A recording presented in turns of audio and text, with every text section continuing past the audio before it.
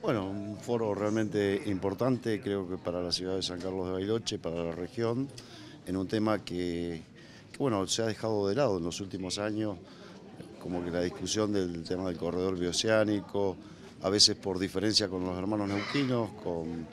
respecto al uso del paso o no para el tema del corredor, bueno, todo esto ha quedado, y esto creo que vuelve a reinstalar la discusión necesaria, en la que, bueno, por los tiempos que se vienen, por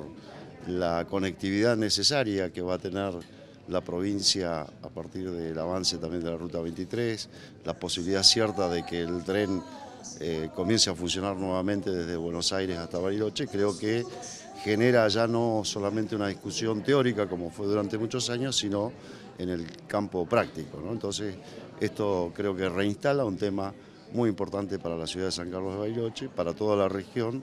y fundamentalmente para una visión geopolítica diferente en la provincia de Río Negro. Miguel, ¿cuáles son los temas en los que no se terminan de poner de acuerdo con la provincia de Neuquén? No, bueno, eh, es conocido que sobre todo la ciudad de Villa Langostura se opone al paso de,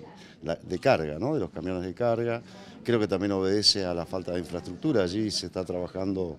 y hablando de hace bastante tiempo en una avenida de circunvalación, lo que haría que los camiones pesados no pasaran por el centro de la ciudad, que hoy lo, lo que de alguna manera genera este inconveniente en la vida eh, cotidiana de los, de los neuquinos, particularmente de los vecinos de Villa Langostura. Creo que es un tema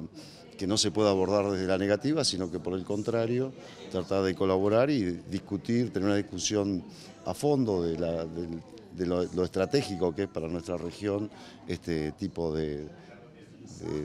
emprendimiento, yo creo que es fundamental. Eh, además tenemos también que volver a retomar el tema del paso del Manso,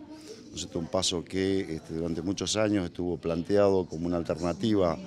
real para nuestra región. Bueno, también allí habrá, que trabajar, creo que el tema estuvo instalado en una reunión que hubo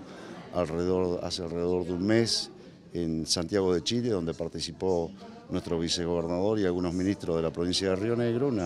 reunión binacional donde justamente se trataron este tipo de puntos.